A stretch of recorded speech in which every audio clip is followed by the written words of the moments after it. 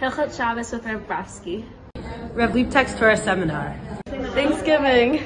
The Ramat Hanadiv Hike. Starting our own Gemara Chavruta. Rev Kutzner's Parshanut class. The Old City Shabbaton. Running a Hanukkah party for displaced families. Volunteering with Shalva.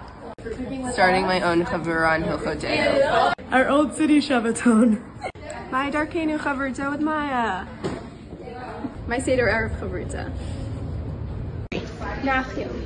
Tzipori. The people. Hanukkah. Orange picking. The Tiolim. I really enjoyed visiting the Ramat Hanadiv Gardens and Volunteering on different farms. Yom Kippur was really meaningful.